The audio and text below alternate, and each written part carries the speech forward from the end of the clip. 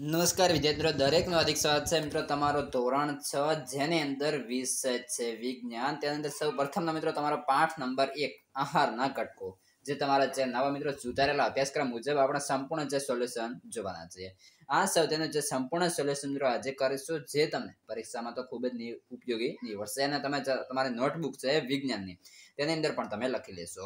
તે પહેલા તમે જો મિત્રો ચેનલમાં નવા છો, તો ફટાફટ ચેનલને સબસ્ક્રાઇબ કરી લો, તમારા મિત્રોને પણ શેર કરવાનું ભૂલતા નહીં.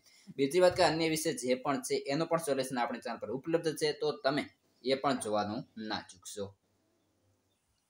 તો સૌ પ્રથમ તમારા મિત્રો સ્વાધ્યાયનો પ્રશ્ન છે. પ્રશ્ન નંબર એક ની અંદર આપણા ખોરાકના મુખ્ય પોષક તત્વોના નામ લખો.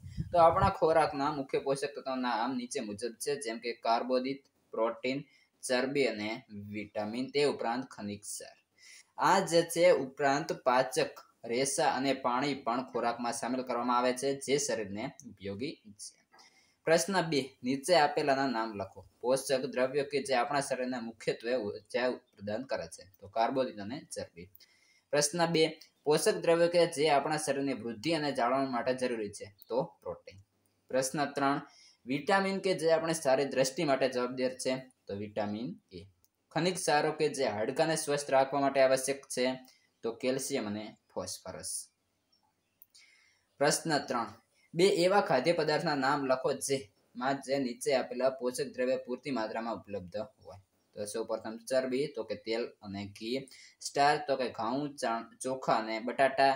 પાચક રેસા, એટલે કે તેને વૃક્ષાંશ કહેવાય. તો કે લીલા શાકભાજી અને અનાજ. પ્રોટીન, તો માછલી, દૂધ અને કઠોળ. આગળ છે પ્રશ્ન ચાર, આપેલમાંથી સાચા વિધાનો માટે સાચા નિશાની કરો. તો માત્ર ભારત, એટલે કે ચોખા ખાવાથી આપણે માત્ર ભાત ચોખા ખાવાથી આપણે આપણા શરીરની પોષક આવશ્યકતાઓ પૂરી કરી શકીએ છીએ. ત્રુટિજન્ય જે રોગોનો અટકાવ સમતોલ આહાર ખાવાથી થઈ શકે છે. તો કે સાચું બનશે. ત્યારબાદ જે ત્રીજા નંબરે, શરીર માટે સમતોલ આહારમાં વિવિધતા સફર ખાદ્ય પદાર્થો હોવા જોઈએ. તો કે સાચું. શરીરને બધા જ પોષક દ્રવ્યો ઉપલબ્ધ કરવા માટે માત્ર માંસ પર્યાપ્ત છે. તો આ ખોટું આવશે. આગળ છે, ખાલી જગ્યાઓ પૂરું. તેની અંદર છે પહેલા નંબરે સુક્તાન. તો કે વિટામિન ડી ની ઉણપથી થાય છે. વિટામિન બી ની ત્રુટિથી ઉણપથી, એટલે કે બેરી બેરી રોગ થાય છે. વિટામિન સી ની ત્રુટિ, એટલે કે ઉણપથી થતો રોગ સ્કર્વી નામે ઓળખાય છે. આપણા આહારમાં વિટામિન એ ના અભાવથી રક્તાંતપણું થાય છે. મિત્રો, આ હતો તમારા જે છે, ચેપ્ટર નંબર એકનું સંપૂર્ણ સોલ્યુશન. તમારો ચેપ્ટર નંબર બે, એટલે કે જે છે પાઠ નંબર બે નું જો તમારે સોલ્યુશન જોઈએ છે, તો એ પણ આપણે ચાર પર ઉપલબ્ધ છે. પાઠ બે હોય, ત્રણ હોય, ચાર કે જે પણ છે, એનું સંપૂર્ણ સોલ્યુશન આ વીડિયો ડિસ્ક્રિપ્શનમાં મળી રહેશે. ત્યાંથી તમે જોઈ લેશો.